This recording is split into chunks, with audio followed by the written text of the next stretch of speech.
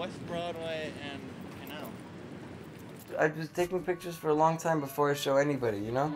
Like taking a lot of Polaroids. I have boxes and boxes in my house because at the time I was like illegal life, you know, like stealing drugs for money, all this shit, you know, like not making any sort of uh, legitimate funds or anything and not living very good either. Um, and a lot of people were saying, you should show these pictures, you could sell them, blah, blah, blah. But for me, it really felt like an impure gesture to submit this to the world. Like, this is not for anyone, this is for us, and it's too pure of a moment